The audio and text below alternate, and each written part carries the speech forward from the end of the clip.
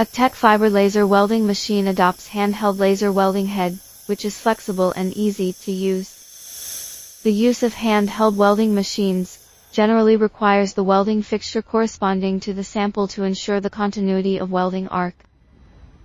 It is also very important to choose the power of the welding machine and the thickness of the welding wire. For the sample material with high melting point and large weld, high power thick welding wire is required, and even double welding wire models are required.